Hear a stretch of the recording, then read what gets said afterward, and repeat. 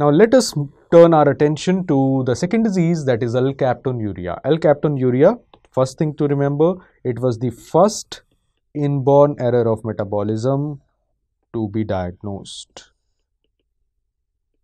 So historical thing to remember for exam. Second thing, alkaptonuria, it shows autosomal recessive inheritance. The gene for alkaptonuria is present on chromosome 3q13.3. So long arm of chromosome 3. What is the cause of alkaptonuria? The cause of alkaptonuria is deficiency of the enzyme homogentisate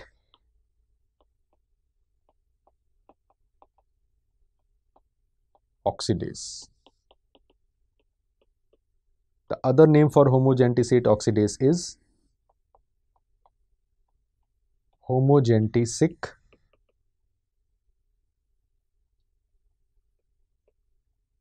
acid 1,2 dioxygenase. Homogentisic acid 1,2 dioxygenase. So, because of this, there is accumulation of homogentisic acid in various tissues.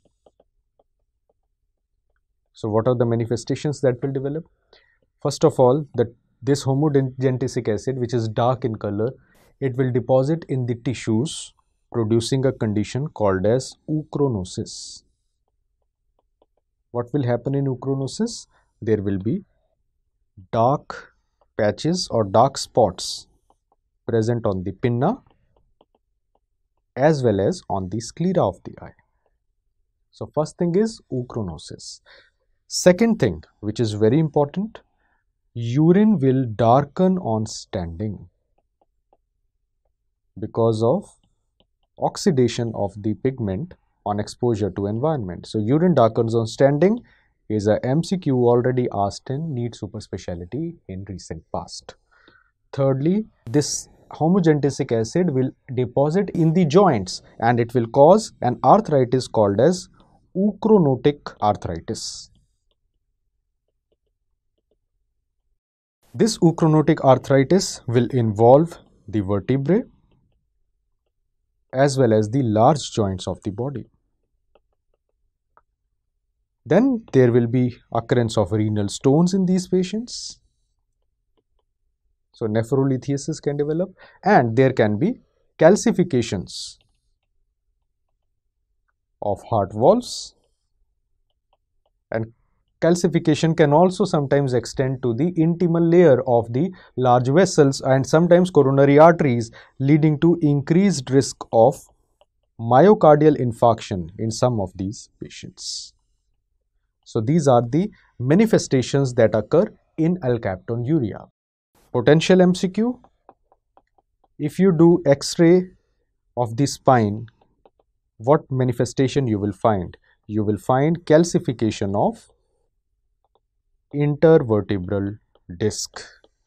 So, calcification of intervertebral disc will be seen on X-ray spine.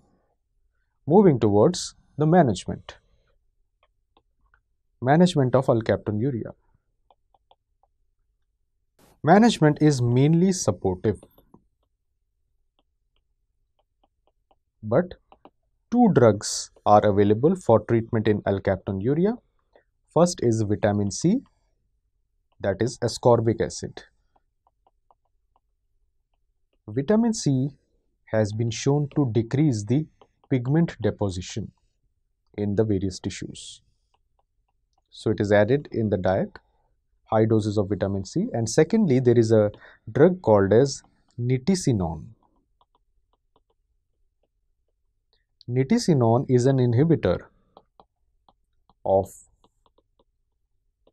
4-hydroxy phenyl pyruvate dioxygenase and so it decreases the formation of this 4-hydroxyphenyl pyruvate dioxygenase is a precursor of homogentisic acid and so it decreases the formation of homogentisate acid or homogentisate and so it produces improvement.